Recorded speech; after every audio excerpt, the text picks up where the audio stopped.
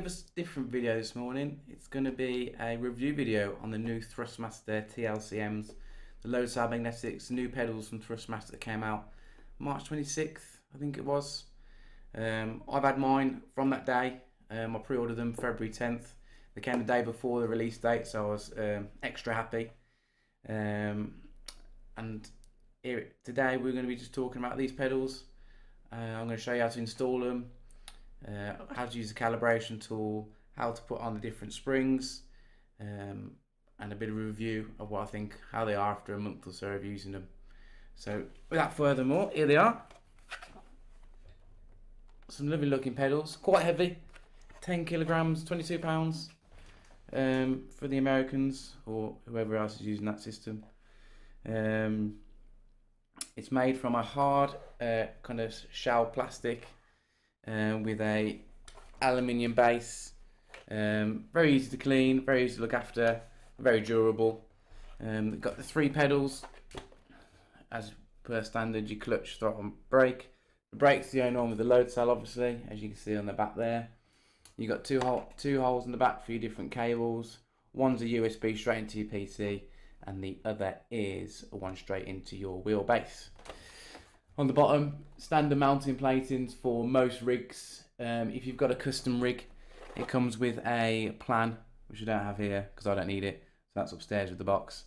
Um, but that's just go over your plate. You can drill the holes you need, put it on, drill it in, screw it up, and uh, that's all sorted. So let's get into the pedals. So you got standard clutch here, standard throttle, and your brake. The clutch has got quite a significant um, tension on it, a bit more than the throttle actually. Um, I hardly use the clutch, that's a bit, a bit of a, a no-go for me. With the throttle, I've had to change kind of the calibration using the calibration tool and software, but I'll show you that later. I find it a bit light for my heavy right foot. Um, and the brake pedal has loads of customization options, which I'll go through. It's got screws in, so you can move the plates around, not a problem. Uh, especially if you're a bit of a rally game, you can move your brake pedal close if you do your heel toe. Um, it comes with different tension springs at the back. You can see there. This is what your standard standard get. This here. Your standard get this. Comes with reds, whites. I don't know what different tensions are. All is about trial and error. Put them on, see what you like. test, and you've got to test a lot. It's all about muscle memory load, so it's not the same as your basic pedals that you get.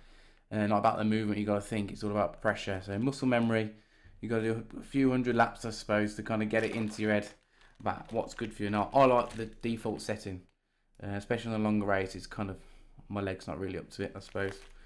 Um, it's quite simple to change. What I did first though, because um, I'm a bit forgetful if you're like me, take a picture of how it's all set up first. Uh, just so you get all the washers and everything in the right place. And then it is as simple as, kind of at the wrong height for this, but it is as simple as pushing down and taking off. And it all comes off in one unit. I'm going to keep it all on if I can. Because eh, simple as just push down and take off, push down, take off. And two different springs on it. There's instructions if you're using the higher tension springs. There's also different color coded washers, um, which tell you what goes on what. Um, follow the instructions, really simple, nice and easy. Uh, I mentioned the cables before. The USB 3.0 straight in um, is a better option if you're on PC. It puts more data through the cable, allowing for a, a more accurate uh, brake pressure for your whatever game you're playing, whatever simulation you're playing. Um, it also comes with another cable that goes straight into the wheelbase.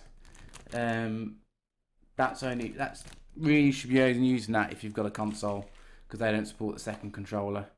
Um, it's up to personal preference, but I like the fact that I get a second controller with more data going through. So we'll move on to the software. So go straight to thrustmaster.com, brings you up to their main homepage. There's a shop if you want to go buy the Thrustmaster. Uh, they're really good. Delivery was really good. Um, nice and easy process, PayPal or Visa debit, etc. Uh, what you want to do for the software, you need to click just click support, it'll take you to the support page. And then click on technical support. Which should then bring you to this page. And what you need to do is click on racing wheels and find the pedals in this list. So there's the TLCMs. This kind of, if you haven't got the user manual or you need the template for the um, for the base, that's where this is where you can find it. And there's the user manual for the calibration software. But I'm going to show you that now anyway. So you need to click this drop down box, which took me ages to find. Uh, there's your software. There's your download button. You need to click that, and it will pop up to the left hand side here. Click on that. Install to your preference of your PC, wherever you want to install it, and then it should bring up another window once you've installed it and I'll show you that now. So you should have something that looks a bit like this. The TM Sim Pedals calibration tool version 2.15 or whatever it is now. Double click on that, you'll see it comes up like this sometimes. You've got the Defender Smart Screen running. Um, just click more info um, and click run anyway. So the device should be plugged in. There we go. So there you go, that's the calibration tool, Here's your clutch, brake and gas throttle. Orange is your dead zones. Uh, when it comes up, the green are the raw values, and then taken into the dead zones, you'll get your final values, which run alongside in these columns here. Down here, you've got the brake force. Um, you can move that around. Um, I'll, I'll, tell you what that means in a minute. Shows like this. Look, so there's your clutch. Nice and simple. They don't. That doesn't really need calibrating. Uh, there's no finesse in using the clutch. Uh, the throttle is the one I've calibrated the most, I suppose. Um, I was getting, it's a very light pedal. And so the initial dead zone, I need to put about 10.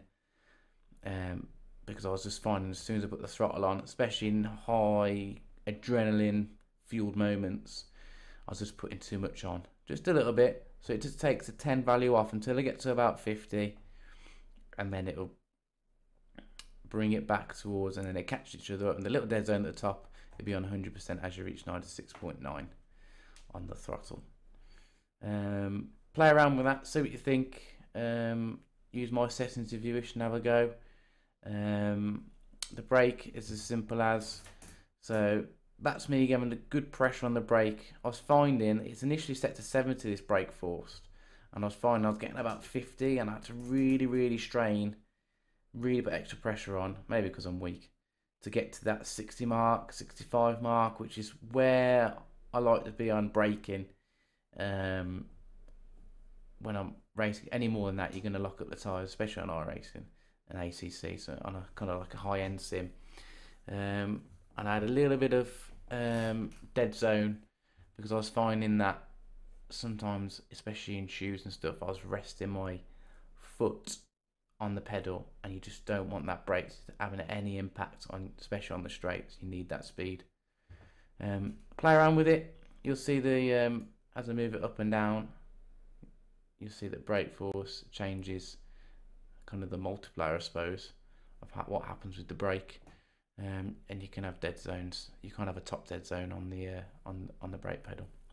So when you want to finish all this uh, you can reset to factory if you want to go back and start again, or you just click apply. And when you click apply, it tells you to save your settings, please unplug the device. Which, if you're like me, means is at the back of your PC and it's a pain to get. But you have to do it. I understand why they do it. It's kind of like an on-off. Um, you'll have to do that as well. You'll have to if you want to. Every time you change your pedal spring, you will have to go into this software and do this again. And it is even more painful if you're on PC. So it's one of my little bugbears that you have to do that and it has to calibrate this certain way. But it's not a hard thing to do. Uh, load up this and it's done in two minutes. So final thoughts from me. Um, I think I'm going to give these an 8.5 out of 10. Uh, they're my first load cell pedals, so uh, I haven't got much com to compare them to, but I love them. I love them already. They've changed my driving completely. I'm enjoying my racing a lot more because I'm staying on the track a lot more. Um, my only kind of cons, I suppose, are the throttle. Um, it's just too light on that initial press. That's why I've had to put that big dead zone in at the beginning. But now I've done that, I find I'm not wheel spinning as much. I've got a lot more control um, with my heavy right foot. The USB plugging plugging pulling it out to save the settings. I get why they have to do that. It's part of the software. It's kind of like a turn them on and on, on and off, I suppose. Um, but I think there's better ways of, of doing that. Um, uh, pros works with consoles if you've got a Thrustmaster base as well as your PC. Uh, so over like a Fanatec base, um, you couldn't have these on a console with um, a Fanatec base and vice versa. You've got a Thrustmaster with Fanatec pedals. It's a great entry level, 170 quid I think I paid, 180 quid, um, 200 dollars I think or 200 euros it's going to be uh, for Europe and in America. Um, it's a great entry level price. I'm a bit of a, I'm a hobbyist. I'm not a professional. I don't have the sort of money to spend 700 quid on some Husum um, even though I'd love to. Um, and I think the level that I'm driving at, it won't make much of a difference anyway. If I did spend 700 pounds, it'd be all the gear, no idea. So for me, they're perfect. You could buy the Fanatec V3s um, if you like the black chrome stuff for the PC. I think it's personal preference. Um, I like the Thrustmaster. I think it looks great. I think there's less to go wrong and it looks simple. Um, and the way to change that tension in the brake pedal um, is perfect. I think that'll suit a lot of people with different strengths. Um, so it's my first review. Let me know what you think in the comments. If you agree or disagree, I'd like to hear from you. I've obviously only used these, so if you use something different, please tell me. Um, if I said anything wrong, please tell me. Um, I'm only only in this as a hobby, just letting you know my thoughts. Uh, don't forget to like and subscribe if you like what you're seeing, and I'll catch you in a in a few races. Catch you on iRacing if you're on there. Cheers. See you in a bit.